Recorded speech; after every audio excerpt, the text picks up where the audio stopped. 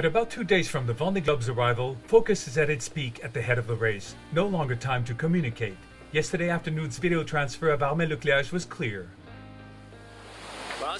This is one of the last videos on board Banque Populaire in this Vendée Globe. We've got beautiful sunshine right now. We enjoy it at max. Afterwards, it's going to overcast soon with hard blowing winds.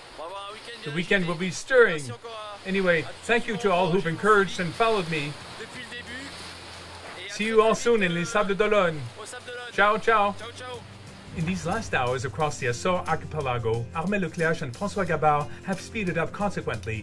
At the last ranking on the finishing line, Macif was ahead of Banque Populaire by 108 miles. Still in the race despite a keyless boat, Jean-Pierre Dick remains in third position. Maybe not for long given the 70 miles that separate him from Alex Thomson. The tall blonde man with the blue boat has trouble admitting defeat. You've got to hold up to the tension.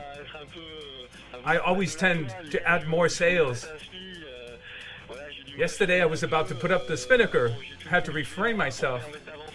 I've got the Jenny out heading downwind, and I'll lower the sails at some point to balance the weights in the boat. I try not to heel the boat too much because past a heeling angle, it'll capsize.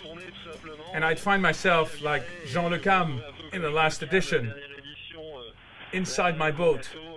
Even if I got everything ready in case, it would be sad. Off Brazil and in seventh position, Dominique Wavre isn't unhappy to live up his last days in the South Atlantic. There, the train winds. Stretch. We finally can start steering northward. Mirabaud is happy. Feels good. Head straight to Les Sables d'Olonne. It's been a while we've been waiting for this. And here, finally, straight route to Les Sables d'Olonne. It's a great day to do so. The South Atlantic has been long and difficult, so now comes the treat.